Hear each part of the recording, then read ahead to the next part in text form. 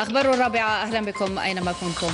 بداية يترأس السيد عبد المجيد طبون رئيس الجمهورية القائد الأعلى للقوات المسلحة وزير الدفاع الوطني. اليوم اجتماعا لمجلس الوزراء يتناول عروضا تخص تحضيرات الدخول المدرسي 2022-2023 حرائق الغابات الأخيرة وتدابير مجابهتها وموسم الحصاد والدرس إضافة إلى مشروع قانون عضوي يتعلق بالإعلام ومشاريع قوانين قوانين منها النشاط السمعي البصري ولم الشمل تعزيزا للوحدة الوطنية. توجت الزيارة الرسمية للرئيس الفرنسي إيمانويل ماكرون إلى الجزائر بتوقيع رئيس الجمهورية السيد عبد المجيد تبون مع نظيره الفرنسي السيد إيمانويل ماكرون على إعلان الجزائر من أجل شراكة متجددة بين الجزائر وفرنسا. الزيارة التي وصفت بالناجحة والمفيدة أثمرت التوقيع على أربع اتفاقيات تعاون في عدة مجالات حيث أعرب الرئيسان عن عميق ارتياحهما لمخرجات الزيارة. كما شهدت عقد الاجتماع التنسيقي الأول من نوعه بهذا المستوى منذ الاستقلال. المزيد من التفاصيل في هذه الورقة لنادية العلمي. هي زيارة ممتازة وضرورية ومفيدة للعلاقة بين الجزائر وفرنسا. هذا ما أكده رئيس الجمهورية السيد عبد المجيد تبون في ختام الزيارة الرسمية للرئيس الفرنسي إيمانويل ماكرون إلى الجزائر التي دامت ثلاثة أيام. زيارة وصفت بالناجحة جدا وضعت الكثير من الأمور في نصابها وأثمرت إعلان الجزائر من أجل شراكة متجددة بين البلدين وقعه الرئيسان. هذا الإعلان يترجم الرغبة المشتركة في التأسيس لشراكة استثنائية شاملة قائمة على الاحترام والثقة المتبادلين وتوازن المصالح بين البلدين ويفتح مرحلة جديدة للعلاقات بين الجزائر وباريس. وتكريسا للتوجه الجديد الذي اتفق الرئيسان على ترسيخه وعلاوة على إعلان الجزائر. تم التوقيع على أربع اتفاقيات تعاون ثنائية في مجالات الصحة البحث العلمي والتطوير التكنولوجي والتعليم العالي والشباب والرياضة. إضافة إلى ذلك تم الاتفاق على التأسيس للجنة مشتركة من المؤرخين ستنصب قريبا وستعكف على دراسة ملف الذاكرة بعيدا عن السياسة. وأهم ما ميز الزيارة انعقاد اجتماع لمسؤولي المصالح الأمنية للبلدين برئاسة الرئيس عبد المجيد تبون ونظيره الفرنسي وهذا لأول مرة منذ الاستقلال. هذا الاجتماع الأمني غير المسبوق يعزز التنسيق بين الجانبين لصالح المحيط الجيوسياسي للبلدين حسب أبرزه رئيس الجمهورية السيد عبد المجيد تبون الذي أكد أن الزيارة سمحت بالاتفاق على العمل سويا لمصلحة القارة الإفريقية التي لا طالما دافعت عنها الدولة الجزائرية.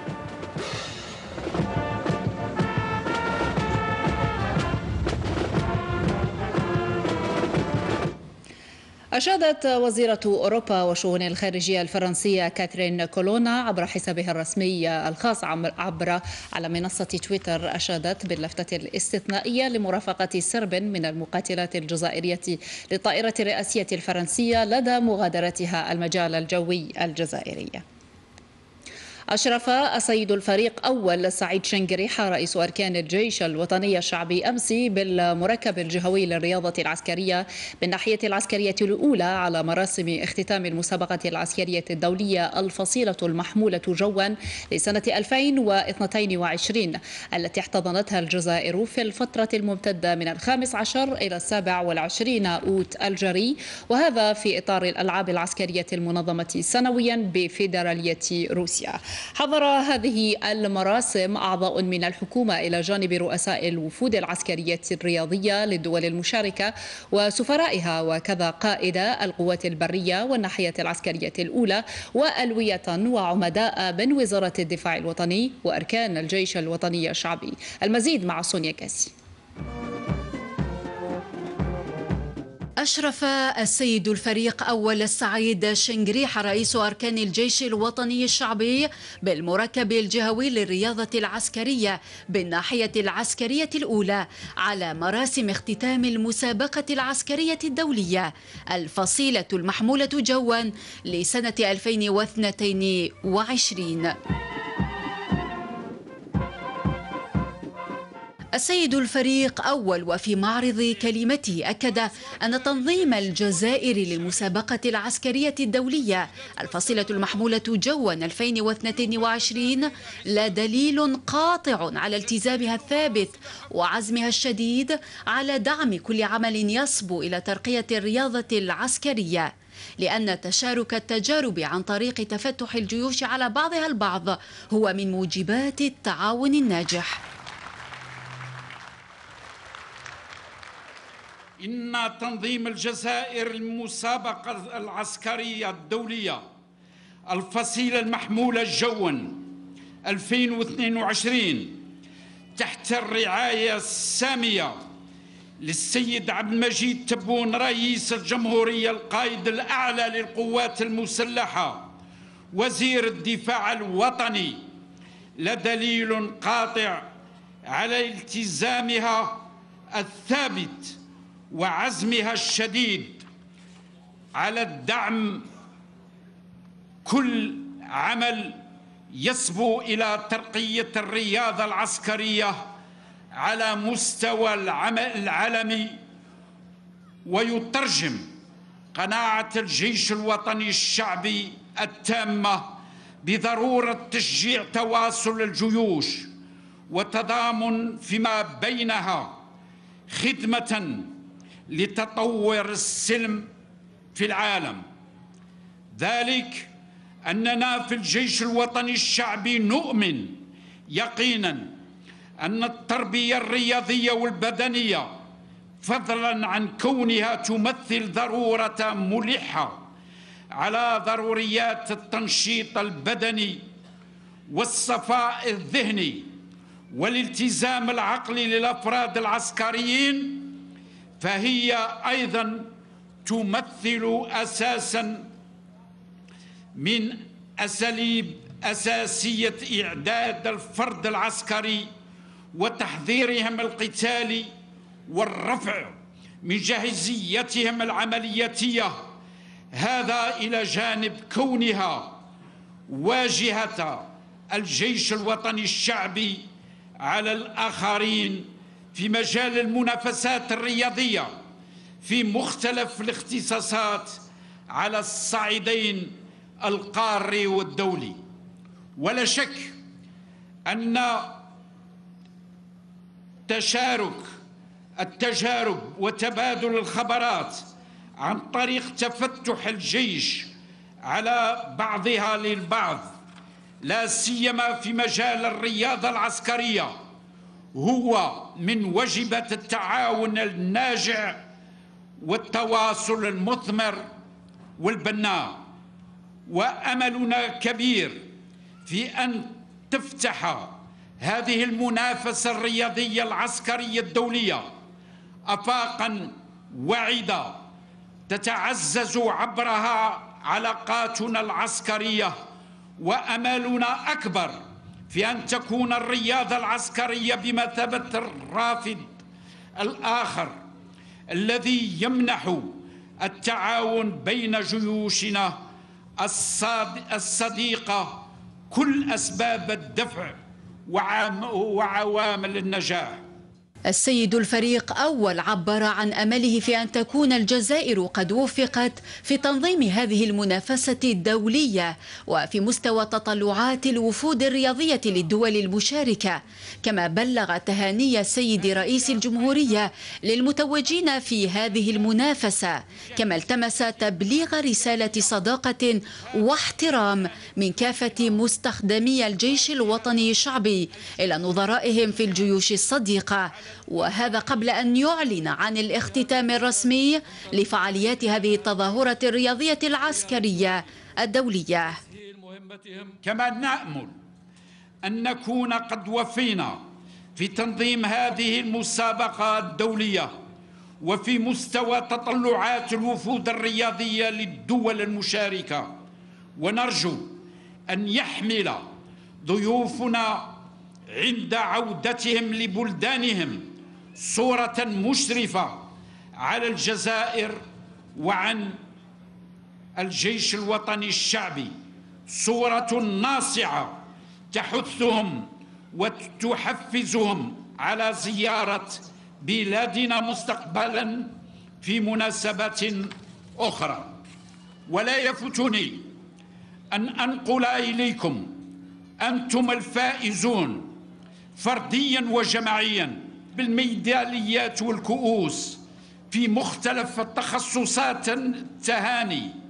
الحارة للسيد رئيس الجمهورية القائد الأعلى للقوات المسلحة وزير الدفاع الوطني الذي كان يتابع يوميا فعالية هذا الحدث الرياضي الهام كما أتقدم بدور الجميع المتوجين بأخلص التهاني على النتائج الممتازة المحققة. حاثا إياكم على المثابرة على هذا المنوال من أجل تحقيق المزيد من التألقات والنجاحات التي تشرفون بها أنفسكم وترتقون بها إلى مستوى تطلعات جيوشكم وبلدكم. ولا يسعني في الأخير إلا أن ألتمس من جميع ضيوفنا الكرام تبليغ رسالة صداقة وتقدير من كافة مستخدمي الجيش الوطني الشعبي إلى نظرائهم في جيوشكم الصديقة. آملين أن تتجدد مثل هذه اللقاءات الرياضية في السنوات المقبلة.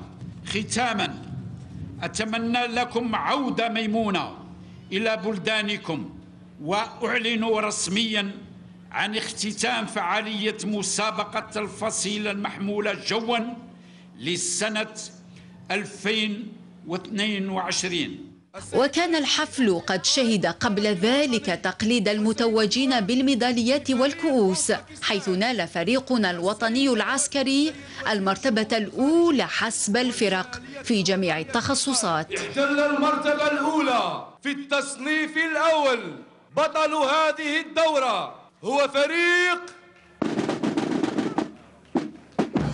الجزائر.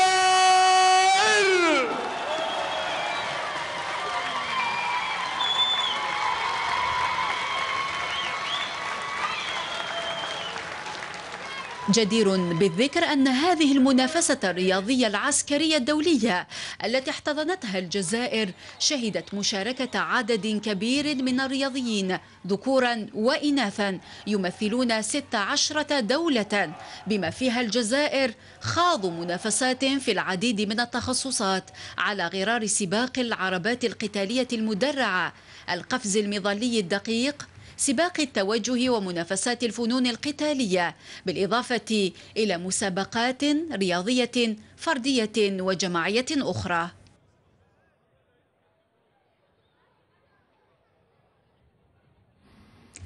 فشأن التربوي وتحضيرا للدخول المدرسي المقبل تعزز قطاع التربية بولاية عامة بهياكل ومرافق جديدة من شأنها تخفيف الضغط المسجل في بعض المؤسسات التربوية. المزيد مع عبد النور هامل. هياكل تربوية جديدة تعزز بها قطاع التربية بولاية عامة لاستقبال التلاميذ في أحسن الظروف وتخفيف الضغط المسجل في بعض المؤسسات التربوية. على مستوى الطور الابتدائي سيتم استلام خمس مجمعات مدرسية 40 قسم للتوسيع. على مستوى الطور المتوسط سيتم استلام متوسطتين بمتوسطين قاف 5 200 وجبة آه، وكذا 10 آه، أقسام للتوسيع. على مستوى الطور الثانوي سيتم استلام عشر أقسام للتوسعة وبهدف التكفل الأمثل بالتلاميذ سيتم استلام مطاعم مدرسية ووحدتين للكشف والمتابعة إضافة إلى الملاعب الرياضية بمختلف المؤسسات التربوية. مديرية التجهيزات العمومية رفعت تحدي وبالتنسيق مع مصالح مدير التربية أن هذه المشاريع تستلم في موعدها. وفي موعدها كما كما مبرمج. منها الأقسام لتوسعة منها المتوسطتين وكذا وحدتين المتابعة وذلك تحضيرا للدخول المدرسي 2022 2023 تم اتخاذ كل الإجراءات اللازمة من أجل تنصيب التجهيزات في وقتها المحدد مع العلم أنه تم اقتناء طاولات فردية على مستوى كل المؤسسات المستلمة. مشاريع أنجزت وأخرى تعرف تقدما كبيرا في نسبة الأشغال مرافق من شأنها تدعيم قطاع التربية بالولاية ضمانا لدخول مدرسي ناجح. تنمويا وتسهيلا لتجسيد مختلف المشاريع الاستثمارية تشهد منطقة النشاطات ببرج بوعريريج والرمايل براس الواد عملية تهيئة شاملة للطرق المهترئة. المتابعة لسعيد بلونيس. تعد منطقة النشاطات مشتى فاطمة ببرج بوعريريج والرمايل بدائرة راس الواد أهم الفضاءات الاستثمارية لتوطين المستثمرين ومشاريعهم واللتين تتربعان على مساحة تفوق ال 500 هكتار إلا أنها تعاني من نقص في عملية التهيئة فضلا عن تضاريسهما الصعبة. سوفرينا مع الامطار ما تقدرش تمشي في السخانه هنا البودرة تاع الغبار ما تقدرش ما تقدرش. ما تقدرش نقص لي زونجا نقص كلش كلش ما كان تجيب الماء تجيبو انت كلش تجيب انت ما كان والو ما كان والو هذا الأمور تاع الطرقات ولا assainissement الغاز ainsi de suite يعتبر عامل اساسي لتنظيف المحيط donner un climat favorable pour donner un climat favorable للعمل للعمال les investisseurs اللي ماذا بهم يجونا للبرج بوعريج السلطات الولائية وتشجيعا منها للاستثمار وتذليل كل العقبات التي تحول دون استقطاب المزيد من المستثمرين باشرت عملية تهيئة ضخمة مست مختلف الشبكات وتسفيت المحاور الأساسية بها. خصصنا مبالغ مالية ضخمة آه، تفوق 800 مليار سنتيم. منها 600 مليار سنتيم خصصت للمنطقة الصناعية مشتى فاطمة و200 مليار سنتيم خصصت للمنطقة الصناعية رمايل ببلدية راس الواد. واليوم الانطلاقة في منطقة في المنطقة المتواجدين فيها وأيضا في منطقة رمايل براس الواد من أجل إعادة تفعيل آه، عملية التهيئة. العملية من شأنها جلب التدفقات الاستثمارية في ولاية استثمارية بامتياز تأهبا لتجسيد بنود قانون الاستثمار الجديد. تنفيذا للبرنامج الوطني لحماية المدن من أخطار الفيضانات جندت ولاية ورقلة المصالح المتخصصة لتنظيف مجاري المياه والبلوعات خاصة مع اقتراب موسم الأمطار المتابعة لمختارية بن مريم. تدابير وقائية استباقية حرصت على تطبيقها بلديات ورقلة بالتنسيق مع ديوان التطهير والجزائرية للمياه تحضيرا لموسم الأمطار حيث تضمنت حملة تنظيف كبرى تحت إشراف السلطات الولائية. قمنا اليوم ببدء عملية كبرى لتنظيف شبكات الصرف الصحي لولاية ورقلة وكذا المشاعب ومجاري صرف المياه الأمطار. عملية تنقية شبكات فيها أحجار فيها كذا تكون عملية صعبة. ما هي آه، آه، فيها مخاطر على عون الاستغلال. لازم عليه أنه يهبط يعني ينزل داخل المشعب باش آه، باش يخرج هذه هذه هذه الأشياء الصلبة. إحنا كشركاء في القطاع الجزائري للمياه قدمت مجهودات بشرية ومادية منها الصهاريج والعمال كيد عاملة. وكذا توفير آه، آه، مادة آه، الجير من أجل المساهمة في التنقية بصفة فعالة. الحملة هذه جندت من أجلها إمكانات بشرية ومادية لإنجاح هذه العملية التي شملت الطرق الرئيسية بالولاية. من تنظيف البلوعات كل عام وهذه مساهمة مليحة ونتمنى من المواطن الثاني يساهم. والطريقة اللي يساهم بها المواطن هي أنه يحافظ ويعرفوا الشيء يرمي برك. المواطن هو جزء من الحل تاع المشاكل اللي هذا اللي راهي تصرى في هذا الأمر. نظافة المحيط تتطلب وعي الجميع بأهمية مثل هكذا حملات لأن المواطن هو المتضرر الأول مهما تعددت الأسباب.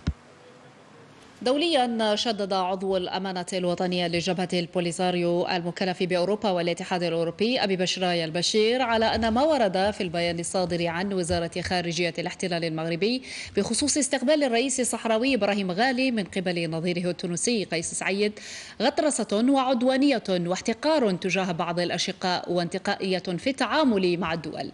وكل هذا يخفي إحساسا واضحا بالفشل الذريع في تحقيق أي هدف من أهداف الاحتلال الاحتلال بانضمامه للاتحاد الإفريقي في 2017 مضيفا أن تونس بلد مضيف لقمة تيكاد في نسختها الثامنة والاتحاد الإفريقي هو الجهة المنظمة بشراكة مع اليابان وهي نفس الإجراءات المعمول بها في قمة الشراكة بين الاتحاد الإفريقي واليابان والمعتمدة في بروكسل خلال قمة شراكة الاتحاد الإفريقي الاتحاد الأوروبي مطلع هذا العام. وأضاف أبي بشرايا لم نسمح حينها إطلاقا بأي ضجيج أو أي أو سحبا للسفير المغربي من بروكسل للتشاور. في خضم انعقاد فعالية مؤتمر طوكيو الدولي للتنمية في إفريقيا بالعاصمة تونس أبدى المخزن المغربي امتعاضه من مشاركة الجمهورية العربية الصحراوية الديمقراطية. امتعاض يعد بمثابة تطاول على جار آخر. كيف لا؟ والمخزن لا يكف عن التمادي في تطاوله على الجيران. محمد سليم حمادي في هذا التقرير. لا تبدو الأمور كما رسمها المخزن وسوق لها في عديد المحافل. الرئيس التونسي قيس سعيد يستقبل الرئيس الصحراوي إبراهيم غالي في إطار فعاليات مؤتمر طوكيو الدولي الثامن حول التنمية في إفريقيا الذي تحتضنه تونس. مشهد سيبقى عالقا في الأذهان كما ستتكرر معه ولا شك خيبات الرباط. بعد محاولات عدة لعزل الصحراويين من مثل هذه المناسبات. مناسبات هم أحق بحضورها بقوة القوانين والشرعية الدولية. على مواقع التواصل الاجتماعي اصطفت المواقع المخزنية وأخرجت كل ما لديها من شتائم وإهانات لتونس. ليس الأمر كذلك فحسب بل إن الموقف الرسمي لم يجد بدا من اتهام الدولة التونسية باتخاذ قرارات يصفها المخزنية بالمعادية للمغرب. اتهامات بدت مفاجئة للتوانسة حكومة وشعبا بل حتى المتابعين للشأن المغاربي استغربوا خرجة الرباط. فالصحراء الغربية والحال هذه تعد عضوا في الاتحاد الإفريقي وملتزم بمواثيقه وقراراته كما أن حضوره في مؤتمرات سابقة للتيكاد كانت على مرأى ومسمع الوفود المغربية التي كانت في كل مرة ترغي وتزبد في محاولات يائسة لخلق أزمات مماثلة. أزمات تؤد كلها وتطمسها قوة الشرعية الدولية فما الذي حمس الرباط على مناكفة الشقيقة تونس والاستقواء عليها؟ ليس من الصعب بمكان الإجابة عن مثل هذا السؤال فيكفي بعض من عناء البحث في تاريخ علاقات الجار سيء الصيت لتأتيك حقائقه. نظام إذا اؤتمن خان وإذا حدث كذب وإذا تورط فجر وتلكم إجابة شافية. ونختم أخبارنا بأخبار الوطن وبالضبط من الجلفة حيث لا يزال اللباس التقليدي النيلي يحظى بمكانة خاصة عند النسوة النيليات لما يضيفه من تميز وأناقة على من ترتديه.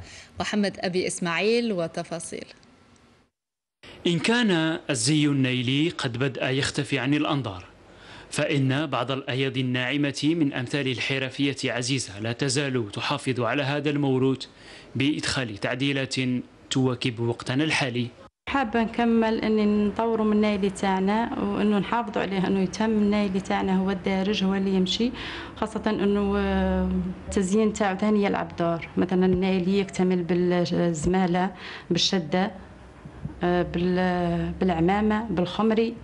والحلي ثاني تاع النايلي هي اللي تزيد من النايلي تاعنا تزيدوا نظرة أبهى وتوصل النايلي تاعنا على على أصول. شغفها بالخياطة جعلها تشرف ولايتها في عديد المهرجانات الوطنية لاقية كل الدعم من عائلتها الصغيرة. وجدت من كامل الدعم المعنوي والمادي وأتمنى كذلك. المتابعة من السلطات المعنية. حاولنا أننا نوصل لهم رسالات متعددة في أن يكون منتوج تاعهم متجدد ومعاصرا وفي نفس الوقت محافظ على أصالة النيلي. ليبقى الزي النيلي موروثا تحافظ عليه المرأة الجلفوية مبقية على شكله الأصلي المتوارث وسط الزخم الذي تعرفه الحياة المعاصرة. بمورثنا المادي الأصيل. نختم أخبارنا. ألقاكم مجددا تمام الخامسة في نشرة إخبارية مفصلة. إلى اللقاء.